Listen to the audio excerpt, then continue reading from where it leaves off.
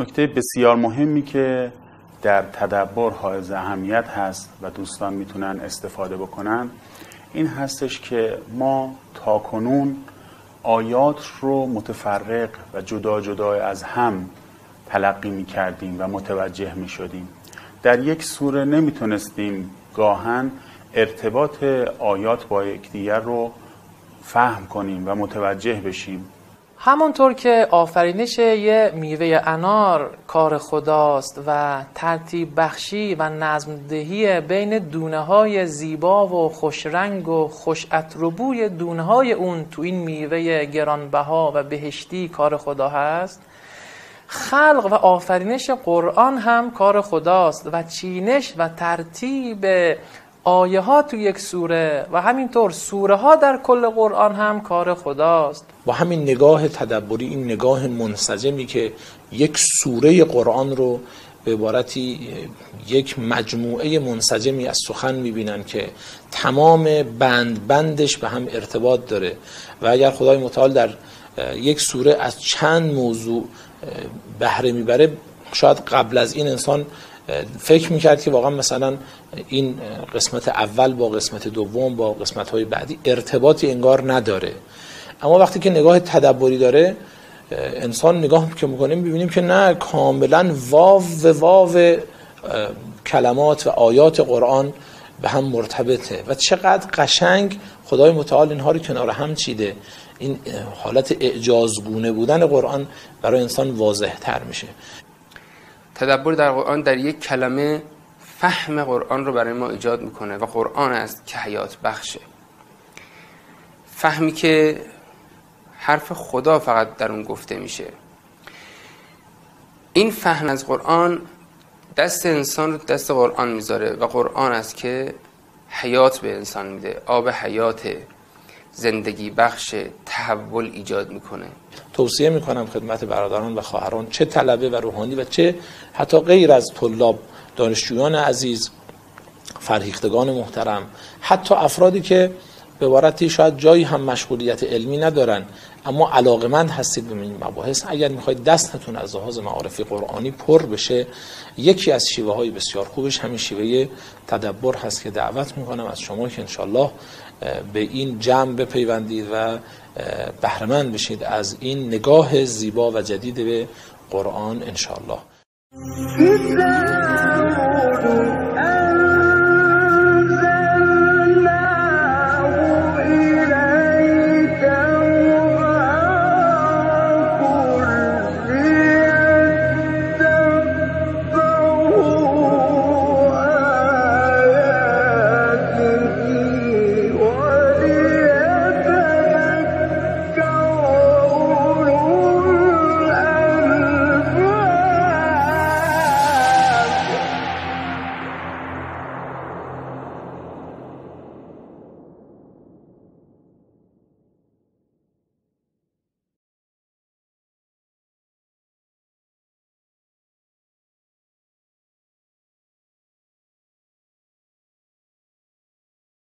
بسم الله الرحمن الرحیم.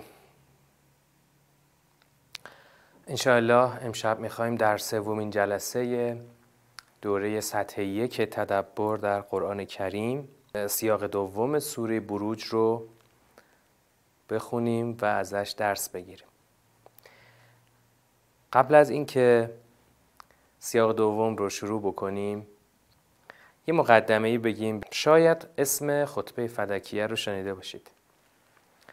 خطبه فدکیه خطبه است که حضرت زهرا در مسجد پیامبر اکرم بعد از وفات آن حضرت بیان کردند و در این خطبه مطالب بسیار مهمی رو گفتند که ما می‌خوایم چند جمله از اون رو بخونیم و درس بگیریم برای امروزمون. معمولا در واکاوی حوادث بعد از وفات پیامبر اکرم تحلیل های سیاسی اجتماعی گفته میشه و مورد واکاوی قرار می‌گیره. اما شاید این سوال کمتر بهش پاسخ داده شده که مهمترین علت رویگردانی اون مردم از قبول خلافت و یا بهتر بگیم امامت از علی علیه السلام چه بود؟ آیا واقعا صرفا توطعه اصحاب سقیفه باعث این شد که مردم به امامت از علی علیه السلام رو نیارن و به راحتی تن بدن به خلافت خلیفه اول؟ پس یعنی در این مدل تحلیل فقط انگار یه سری رجال سیاسی بودند که همه کاری صحنه بودند و مردم صرفا تسلیم بودند خب ما نمی‌خوایم نقش رجال سیاسی رو در واقع قصب خلافت نادیده بگیریم اما می‌خوایم اون رو دقیق تر بررسی بکنیم. چی شد که اون مردم تن دادن به جریان قصب خلافت؟ چرا مردم سکوت کردند حتی بهترین یاران پیامبر اکرم سکوت کردند در قبال این قصب بزرگ. حضرت زهرا سلام الله علیها در خطبه فدکیه دلیل این رو خیلی قشنگ بیان می‌کنن. حضرت زهرا سلام الله علیها وقتی در این خطبه طولانی مردم رو مورد خطاب قرار میدن نکته خیلی جالبی رو میگن که معاشر الناس. ای مردم المغزیت علی الفعل القبیح الخاسر. ای کسانی که چشم بستید بر آن فعل زشت زیانبار آن فعل زشت خسارتبار. افلا تتدبرون القرآن ام علی قلوب اقفالها؟ ای مردمی که چشم بستید بر آن فعل زشت زیانبار. کدوم فعل زشت زیانبار؟ همون در واقع قصب خلافت علی علیه السلام. افلا تتدبرون القرآن ام علی قلوب اقفالها؟ اینجا در واقع حضرت زهرا سلام الله علیها دارن اقتباس می‌کنند از آیه سوره محمد صلوات الله علیه که این سوره رو انشاءالله اگر عمری باشه در ترم شش خواهیم داشت. در واقع خیلی نکته ظریفی است که دلیل چشم بستن مردم بر فعل زشت زیانبار قصب خلافت تدبر نکردن در قرآنه. اینجا در واقع حضرت زهرا سلام علیها صرفا اون آیه رو آوردن با, زمیر خطابی آوردن. در قرآن یتدبرون هست در کلام حضرت زهرا سلام الله علیها تتدبرون هست. یعنی خطابی دارن میگن به اون مردم. پس این مردم بزرگترین کوتاهیشون که منجر به پذیرش فعل زشت زیانبار قاسبان خلافت شد چی بود؟ تدبر نکردن در قرآن بود. واقعا چرا تدبر نکردن در قرآن؟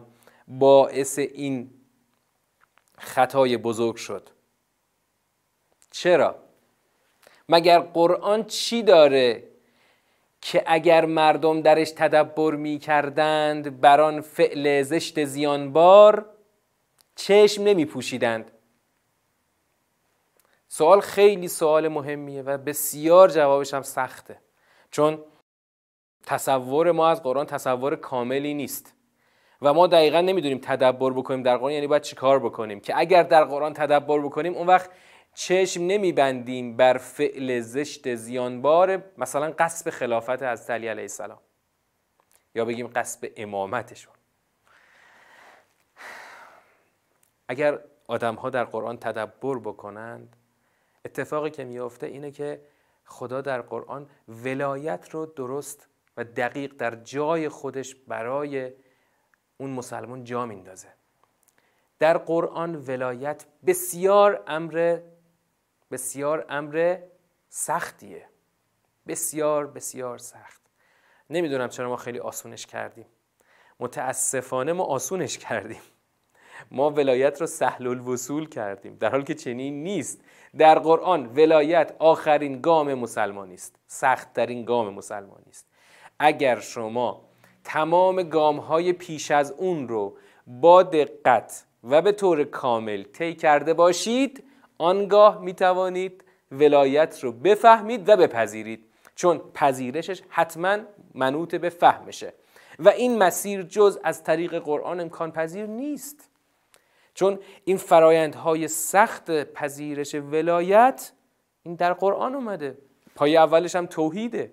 شما باید اول توحیدت نبوتت معادت درست بشه همه اینها رو در جای خودش کلاس هاشو بگذرونی تا بتونی ولایت رو بفهمی و بعد بپذیری. برای همین هم پیامبر اکرم با این گام های با این گام های طولانی این مسیر رو برای امت تبیین کردن و امت البته یه ادهشون طی کردن و بسیارشون طی نکردن. بفرمایید. من یه جواب مبنایی می‌خوام بدم. جواب مبنایی بر اساس قرآن. بذار حرف خودمون نزنیم. حرفای خودمون هر چقدر بگیم هزار تا جای رد و انکار هستش. اما بر اساس قرآن مثلا از سوره تین می‌خوایم استفاده بکنیم. خداوند در قرآن با بیانهای مختلف برای ما بیان می‌کنه که من یه موجود بسیار پیچیده ای آفریدم به نام انسان. انسان تنها موجود در واقع تنها آفریده مختار خداست. تنها آفریده ای که از لحاظ جسم و روحش با تمام آفرینش خدا برابری می‌کنه. اینو از قول قرآن میگه.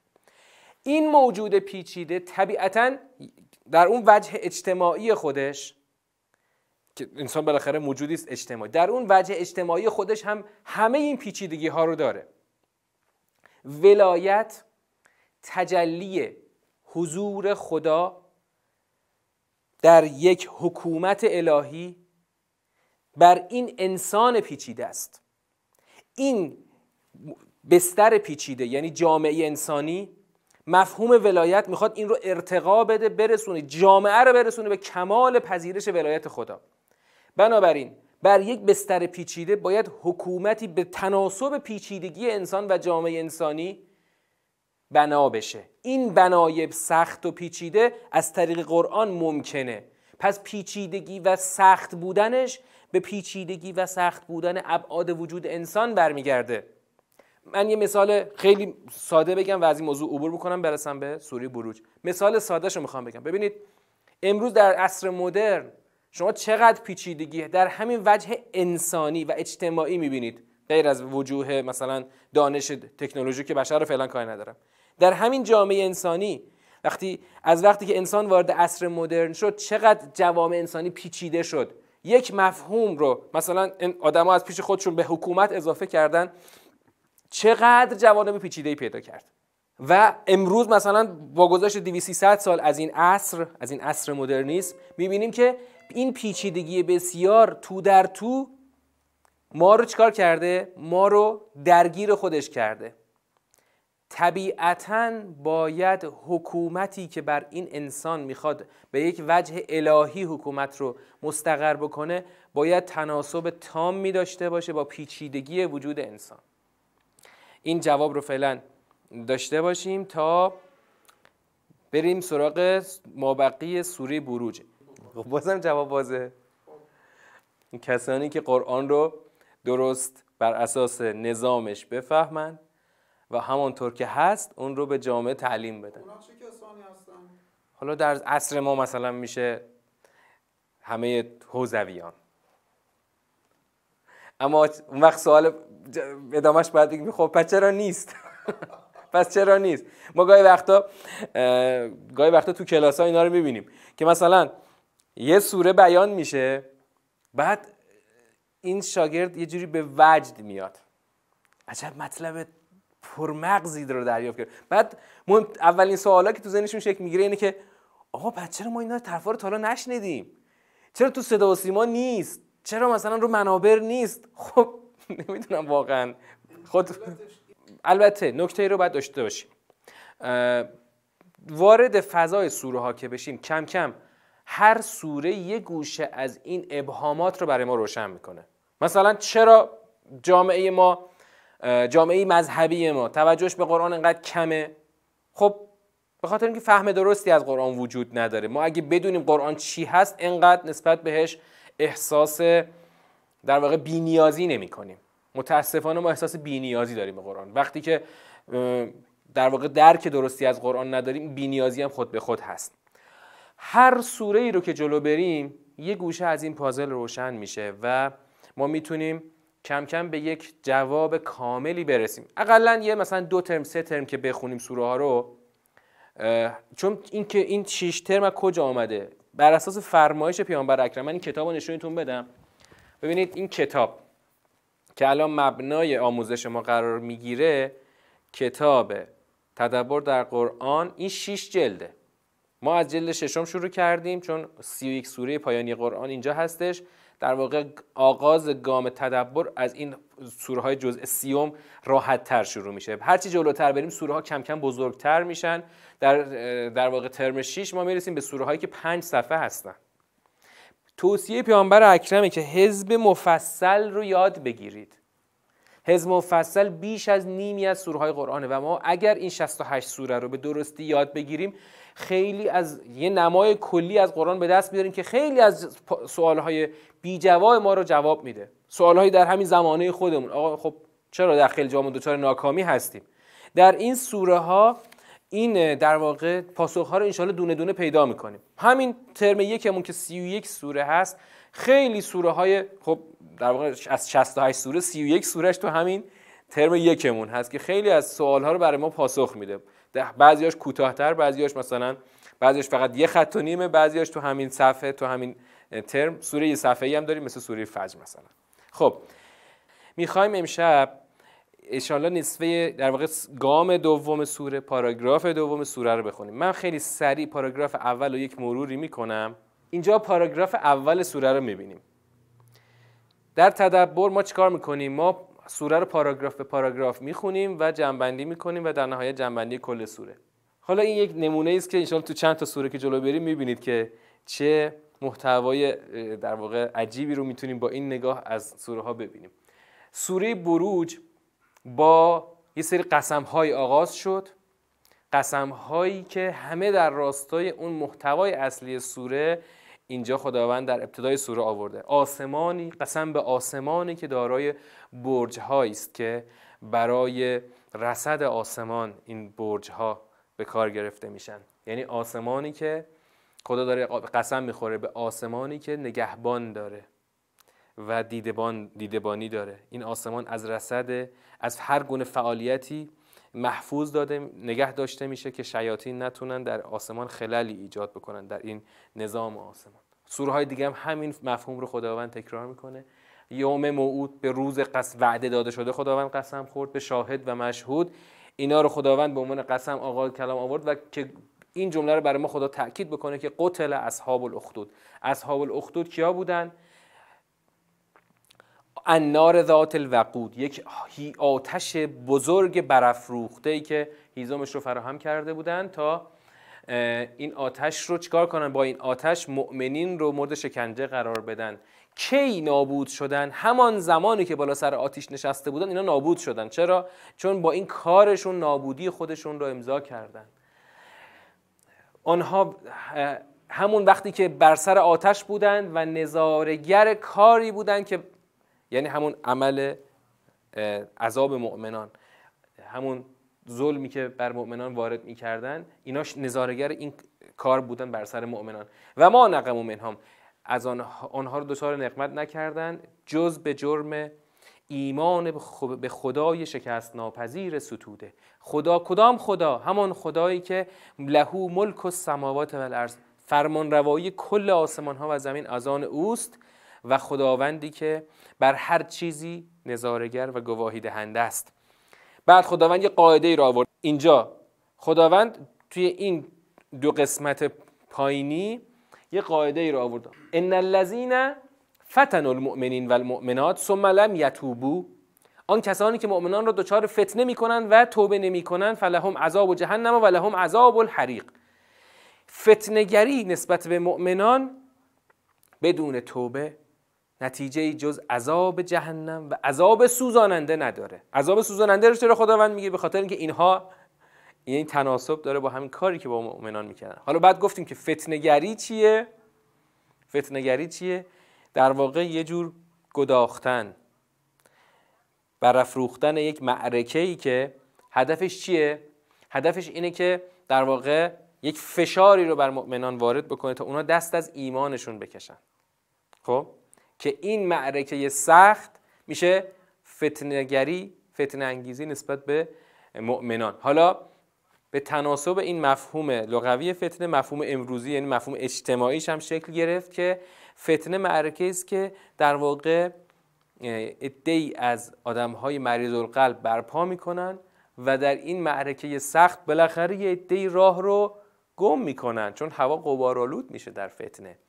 و عده ایمانشون رو از دست میدن. اما اون مؤمنینی که از این معرکه پرفتنه و پر آشوب عبور بکنن نتیجهشون چی میشه؟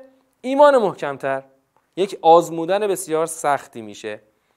در پایان گام اول خداوند گفت که همون کفه دوم ان الذين آمنوا و عملوا الصالحات لهم جنات تجری من تحت الانهار ذالک الفوز الکبیر. مؤمنانی که ایمان و عمل صالح داشته باشند در برابر اون کافران فتنگر اینها جناتی بهشت هایی رو که از زیر درختانش نرها جاری خواهند داشت و آن است رستگاری بزرگ. خب این گام اول سوره بود و این رو تو این جمله هم میشه خلاصه کرد تهدید کسانی که مؤمنان رو دچار فتنه می‌کنن. آنان که مؤمنان در مرز انتخاب بین ترک ایمان یا شکنجه و عذاب قرار می‌دهند ناکام میمانند و مانند اصحاب اخدود عذاب می‌شوند. می‌رسیم به گام دوم سوره که از دواز... آیه 12 تا آیه 22 هست. ان بطش ربک لشدید. خب حالا توی گام دوم این سوره خداوند می‌خواد چیکار بکنه؟ خداوند می‌خواد یک گرفت از یک گرفتن سخت و خشن صحبت بکنه خداوند تو گام اول کافران فتنگر رو به چی تهدید کرد؟ به عذاب سخت و سوزاننده شما فکر کنید آدمای کافر در مواجهه با این وعده عذاب چیکار خواهند کرد؟ انکار انکار آره همون تکذیب و کی گفته از کجاست این حرفا رو کی گفته؟ حالا خدا می‌خواد در برابر روی کرده این انکار اینا چیکار بکنه؟ از قدرت شدید خودش در گرفتن این کافران صحبت بکنه و پشبندش دلایلش رو خدا بیاره. خیلی محکم و جالبه. این اولا کلمه بطش رو خوب معنا بکنیم. بط اینجا کلمه کلیدیه. بطش یعنی چی؟ گرفتن با قهر. با قهر و غلبه نه یک گرفتن عادی. گرفتنی که باش همراهاش یه جور قهر هست غضب هست. خب؟ خود این کلمه تو شدت هست. حالا خداوند میگه که ان بطش ربک لشدید. گرفتن پروردگار تو قط بسیار شدید است قطعا شدید است. ببین چند تا تاکید رو الان می‌خوام پیدا بکنم تو این جمله. اولا خود ساختار جمله اسمیه توش تاکید داره. انه اول جمله تاکید داره. شدید کلمه شدید خودش شدت داره. اگر خداوند گفت ان بطش ان ان مثلا به جای بطش خداوند می‌گفت اخذ. ان اخذ ربک لشدید خودش کلی شدت داشت. یه لام هم خداوند سرش آورده. یه شدت یک تأکید بیشتر بهش خداوند اضافه کرده و خود کلمه بطش به جای اخذ خداوند گفته بطش. تأکید در تأکید چهار پنج تا تأکید شد.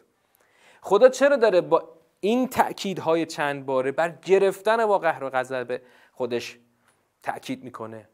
برای اینکه به این کافران بگه که شما حالا مثلا الان می‌خواید تکذیب کنید. کجا می‌خواید برید؟ خدا شما تو مشت خدایید خدا وقتی که قرار باشه شما رو محکم بگیره می‌گیره و شما نمی‌تونید فرار بکنید از این گرفتن با قهر و غلبه خداوند.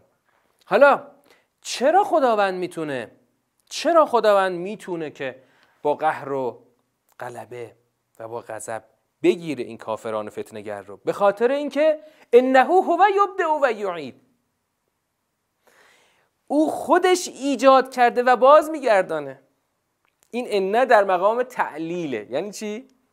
علت آوردن برای حرفی که همین الان گفتیم. خداوند اینجا گفت که من می‌خوام من یه روزی میگیرمتون و با شدت و قهر می‌گیرم. چرا من می‌تونم این کارو کنم؟ آقا من خدایی هم که انه هو یبدع و یعید. همو ایجاد کرده و همو باز میگردانه. یه هو هم خدا آورده برای چی؟ برای حصر. در واقع اینجور باید بگیم تنها اوست که ایجاد می‌کند و باز میگرداند. بابا خدایی که آغاز و پایان دست خودشه مبدع و معاد دست خودشه. شما کی می‌تونه از دست خدا از, خود از دست خدایی که مبدع و معاد آغاز و پایان دستش فرار بکنه؟ همین استدلال ببینید مثل یه جورایی مثل سوره انشقاق چقدر استدلال محکمیه. مبدع که قط اون کافران نمی‌تونن بگن مبدع دست ما بوده. شما که نبودید که. از هیچ خدا شما رو ایجاد کرده. معاد چی؟ کدومتون می‌تونید بگید که بعد از مرگ چه خبره؟ کجا قراری قراره برید؟ خدایی که شما رو آورده خودش هم هر جا بخواد میبرتتون. شما رو می‌بره به جهنم که عذاب حریق اونجا در انتظار شماست. پس به عنوان تعلیل اینکه چرا خدا می‌تونه با قهر و غضب اینها رو بگیره خداوند میگه انه هو یبدع و یعید و هو الغفور الودود. و هو الغفور الودود. یک تعبیری اینجا تو این آیه اومده ظاهرا یه مقدار انتباق و تناسب نداره. چطور؟ چون آیه هو الغفور الودود داره میگه چی و همو آمرزنده دوستدار است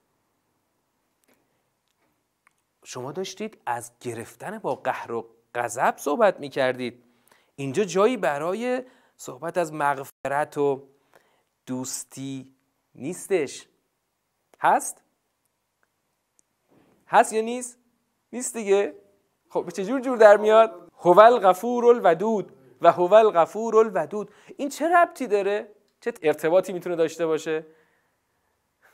خیلی باید دقیق باشیم اینجا تا بتونیم. این خوندن متدبرانه است. آها.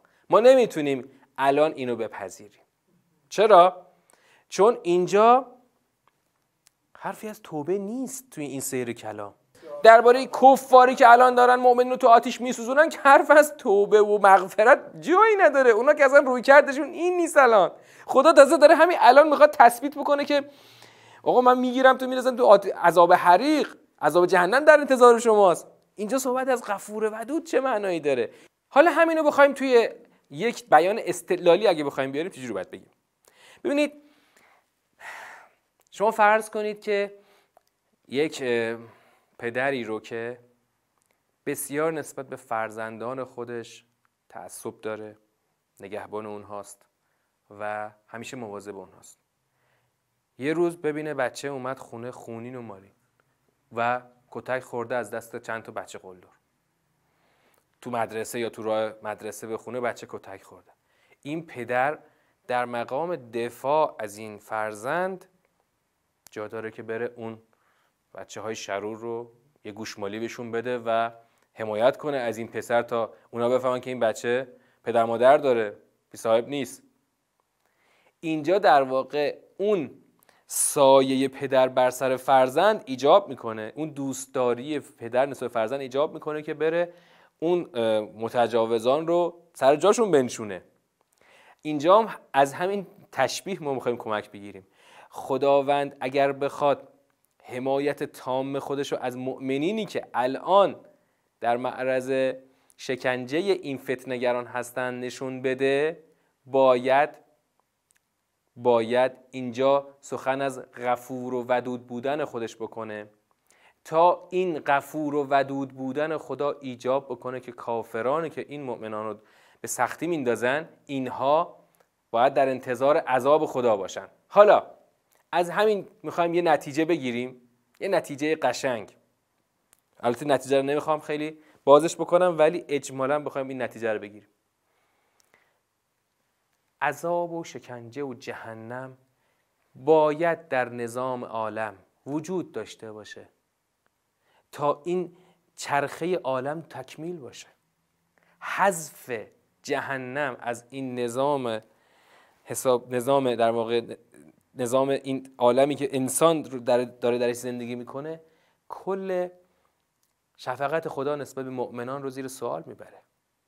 اگر ما جهنم رو حذف کنیم در سوره معارج خواهیم دید. در سوره معارج خواهیم دید. حذف جهنم جهنم آدم ها رو به اینجا میکشونه به اینجا میکشونه که اصلا دیگه خودشون رو تحت هیچ الزامی قرار ندن. اونجا در سوره معارج خدا یه سری الزاماتی رو بر مؤمن ردیف می‌کنه. هشت تا الزام هستش. هشت تا چارچوب و قاعده هست که خدا اونجا در سوره معارج بیان می‌کنه. مهمترین تضمین در واقع در چارچوب ماندن یک انسان چیه؟ اون طرف قضیه است. اگر در چارچوب خودتو حفظ نکنی شما باید منتظر جهنم خدا باشی. و این جهنم جزئی از نظام عالمه که اگر انسان نخواد به عنوان تنها موجود مختار این عالم نخواد در این چرخه حرکت بکنه در این نظم خودش رو جا بده باید او به جهنم بره و سزای این خروج از مسیرش رو دریافت بکنه تا این چرخه کامل باشه. اگر جهنم رو حذف بکنیم واقعا دیگه همونطور که توی اسلام رحمانی این کار داره انجام میشه واقعا دیگه نمیشه هیچ سنگی رو سنگ بند بشه در این نظام عالم. حالا این از این تو پرانتز بگذریم.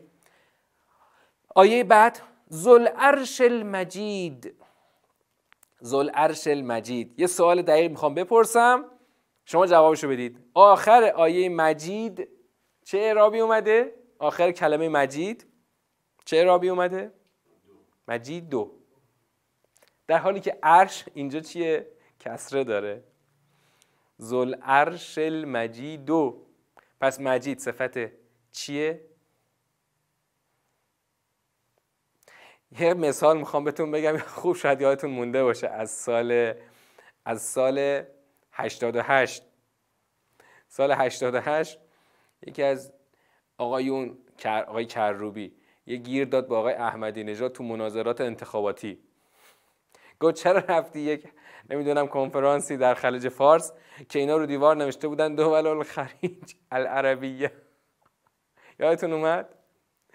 بعد آقای احمد نژاد جواب چی داد؟ گفت آقای کروبی شما حوزه رفتی ولی من نمید اینجا قواعد عربی رو به شما یاد بدم. این دول الخلیج العربیه العربیه صفت دول نه خلیج. این منظورش نیست خلیج عربی. این دول عربی که تو خلیج هستن. آره. اینجا هم زل عرش المجید از همون قاعده باید استفاده کنیم. وقتی یه صفتی صفت اینجا در واقع صفت زو هستش. آره آن صاحب عرشه. خدای مجید صاحب عرش. خدای با مجد و عظمت صاحب عرش. عرش چیه؟ عرش, عرش خدا رو حالا یه لحظه کنار بذار. عرش یعنی چی؟ عرش تخت و عریکه رو میگن. در واقع عریکه سلطنت رو میگن عرش. اینجا خداوند از سنت استعاره بازم کمک گرفته در اینجای کلام که عرش رو خداوند استعاره کرده برای اون سلطنت و فرمان روایی خودش بر عالم. درسته؟ خب؟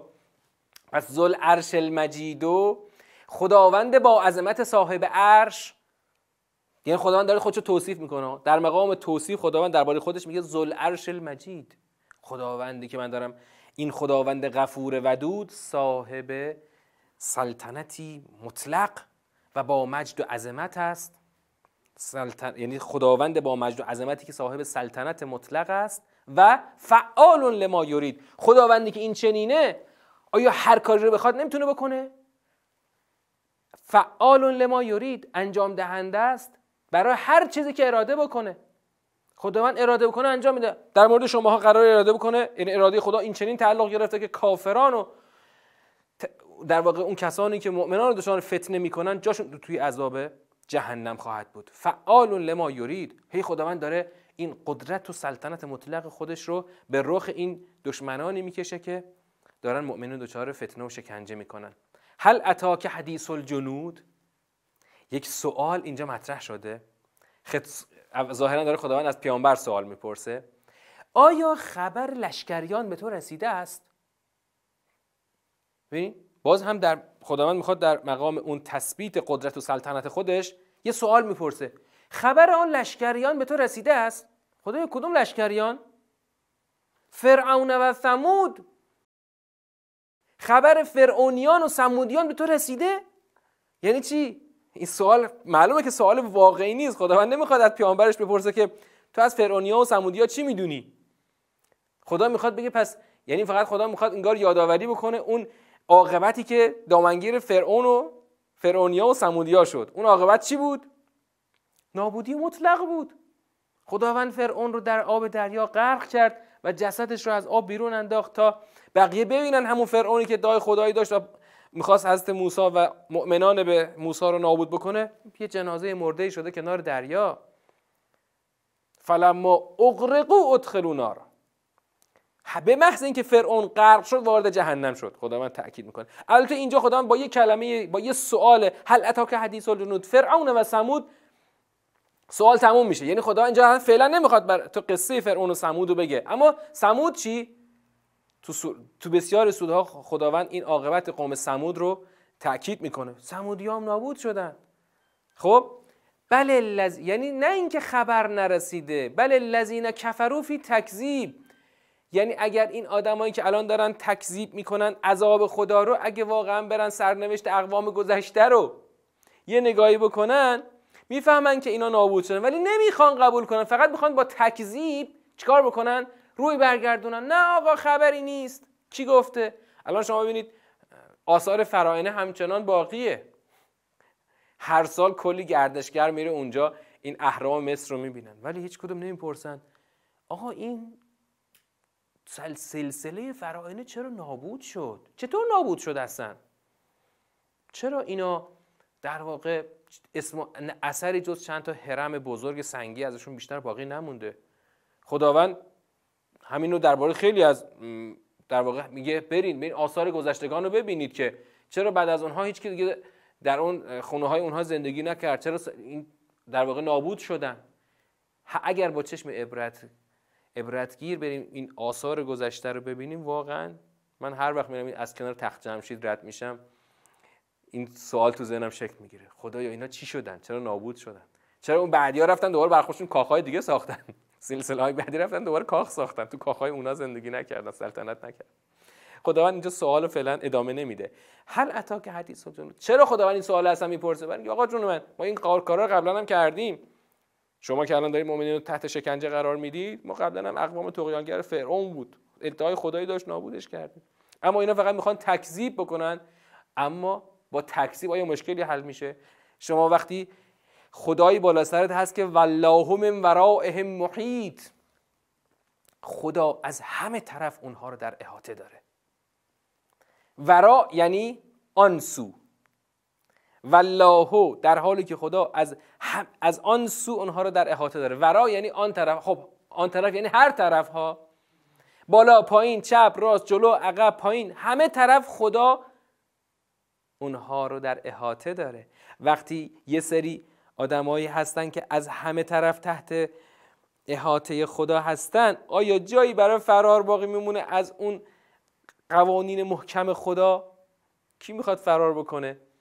والله من ورائهم محیط بل هو قرآن مجید فی لوح محفوظ. اینجا خداوند از قرآن اسم میاره. از قرآن. بل هو قرآن مجید فی لوح محفوظ.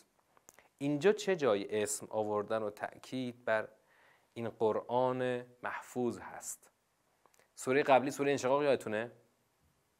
و اذا قرع علیهم القرآن لا یسجدون.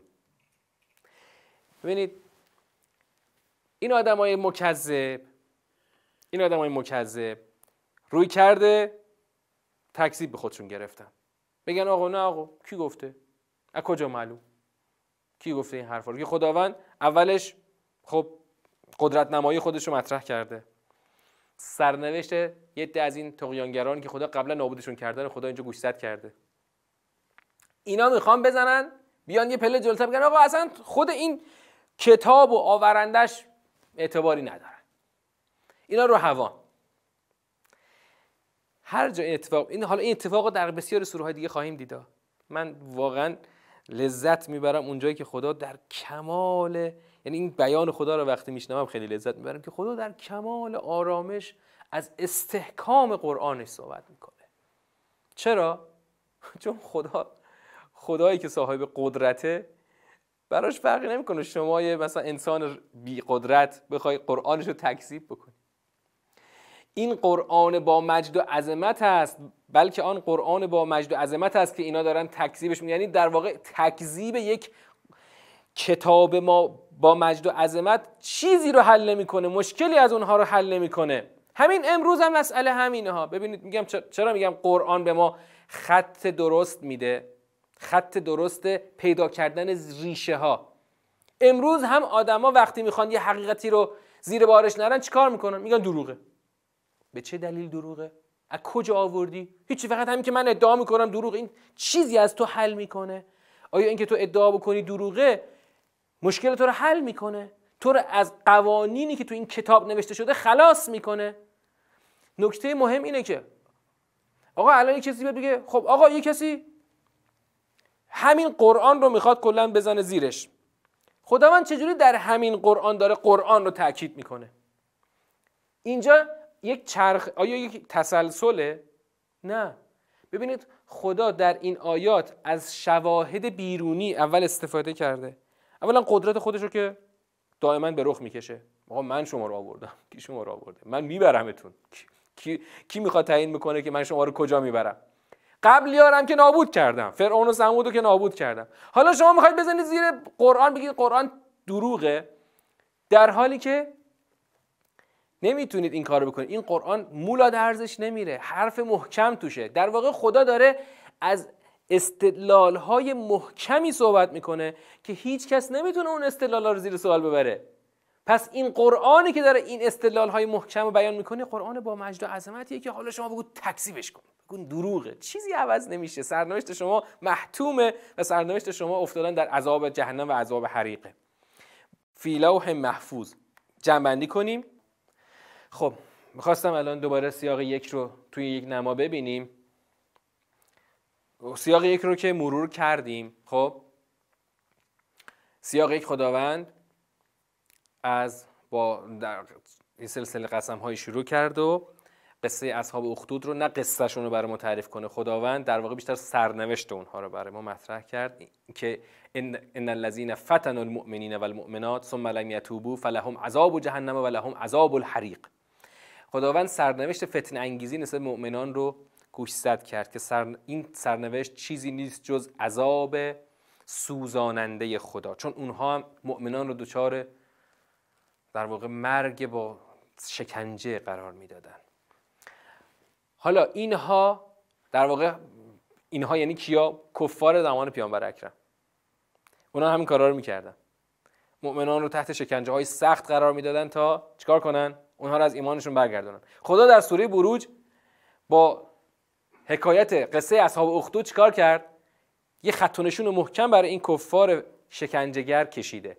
در گام دوم خداوند از قدرت خودش و اینکه اینها رو با قدرت و غضب خواهد گرفت صحبت کرد. بر اساس چه پشتوانه ای پشتوانه این که او خدایی است که میاره و می‌بره. او خودش آورده و خودش می‌بره. به هر جایی که بخواد می‌بره. اینها رو قرار خدا ببره به جهنمی که در انتظارشونه. چرا خدا این کار رو باید بکنه؟ چون نسبت به مؤمنان خدا غفور ودوده. لازمه غفور ودود بودن نسبت مؤمنان اینه که شکنجهگران کافران شکنجهگر رو نابود بکنه.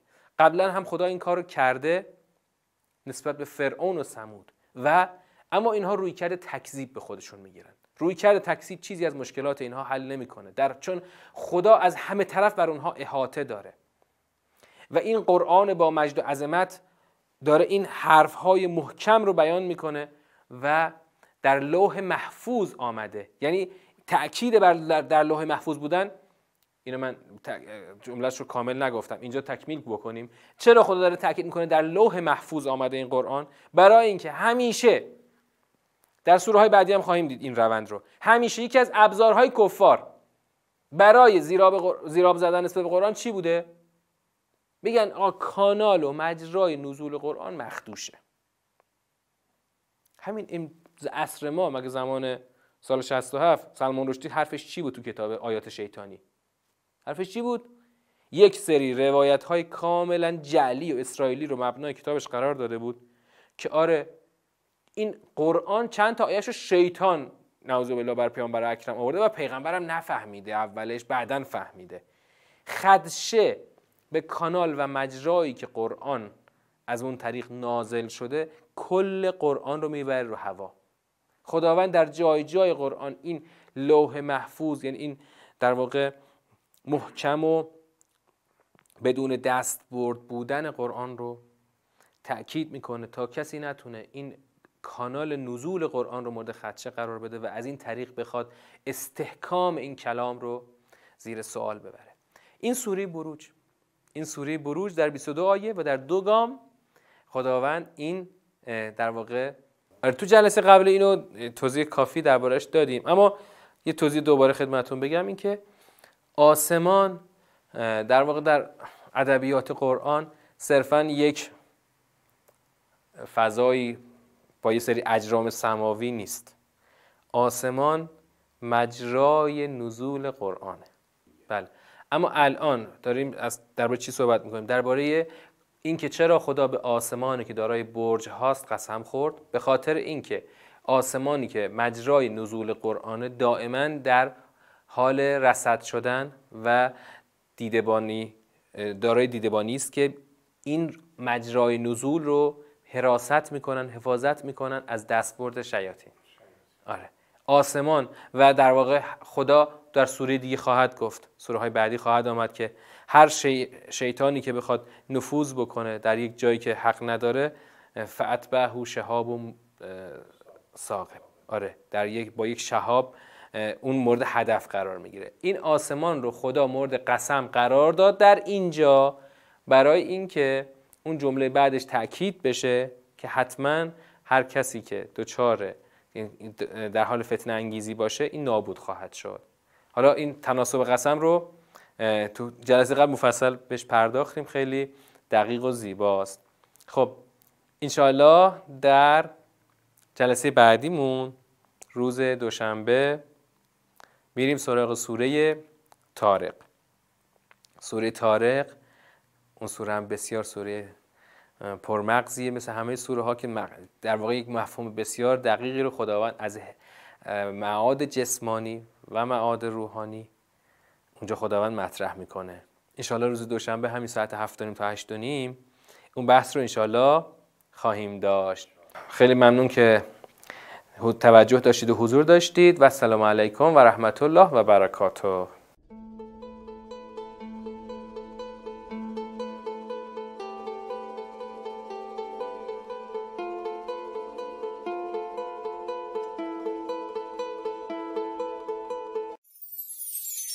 وقتی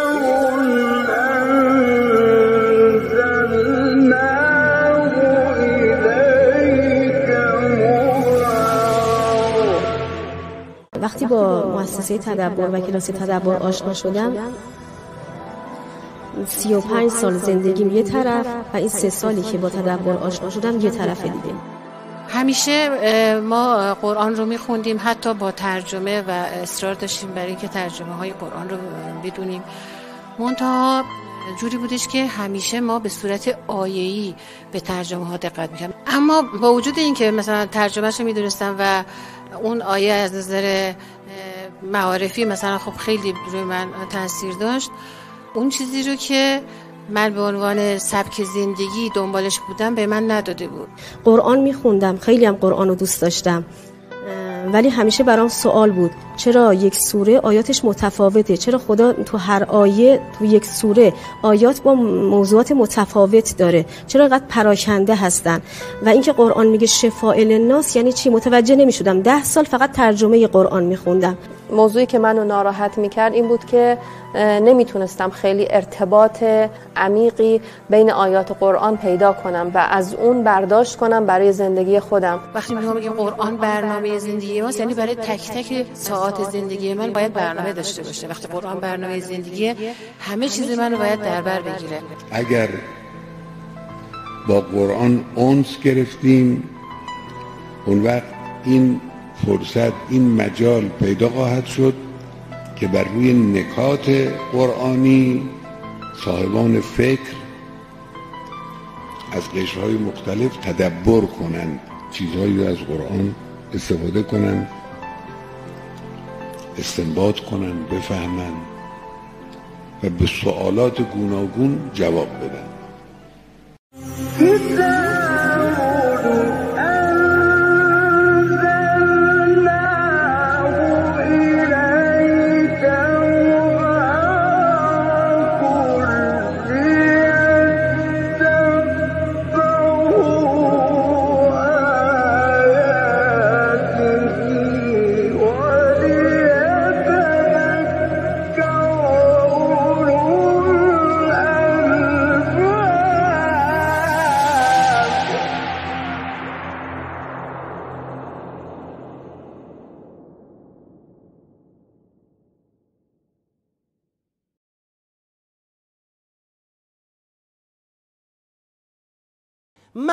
اگر پایه های اعتماد به فقیه جامع و شرایط در دوران کنونی لرزید قدم بعدی آمدن امام زمان نیست. قدم بعدی جبران شدن مسئله غیبت نیست. یک بار دیگه شکستی در یک آزمون ولایت پذیری ثبت میشه در تاریخ. قدم بعدی حکومت و ولایت جباران و صفاکانه. اینو بدونید. محکم میگم با جرأت میگم. و بر اساس سنت های خدا میگم قدم بعدی سیلی خوردنه. نه نجات پیدا کردن. چشممون باز کنیم بسیر باشیم حوصله کنیم. آقا من حرف دارم. باشه حرف بزن. نقد دارم. باشه نقد بکن. تو راه خودش تو جای خودش. حق و باطل نظر قاطی بشه در ذهن خودت و در ذهن دیگران. گناه مثل الان می‌خوام یه حرفی بزنم ما این حرف رو دیگه حالا میگم. ما مردم برخلاف ارشادات ولی امرمون که دیگه اگر کسی یه مقدار درک سیاسی داشت می‌تونست بفهمه که ولی امر شاخص هایی که داره معلوم می‌کنه برای رأی دادن ما خلاف اون رأی دادیم. ما اومدیم به کسی رأی دادیم که دورترین فاصله را با های مشخص شده او داشت. گفتیم آقا ما تزمون اینه بذار بره مذاکره کنه این زبون دنیا رو بلده کت خدا رو می‌شناسه مشکلات رو حل کنه. نتونسته.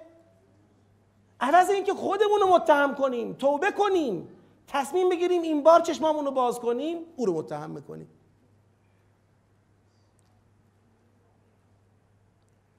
خب ما باید چشممون باز باشه. نظام مردم سالاری یعنی این که شما چشمتو باز کن ببین کیو داری بر خودت حاکم می‌کنی. چه در مجلس چه در دولت. این تصور خیلی تصور کاریکاتوریه که خیال کنیم در نظام ما یه رهبری بالا نشسته همه کارا رو او داره می‌کنه. یه نظام مردمی ما داریم ادارش می‌کنیم اگه خراب ادارش می‌کنیم بعد درستش کنیم. اگه درست ادارش می‌کنیم بعد بهتر از این ادارش بکنیم.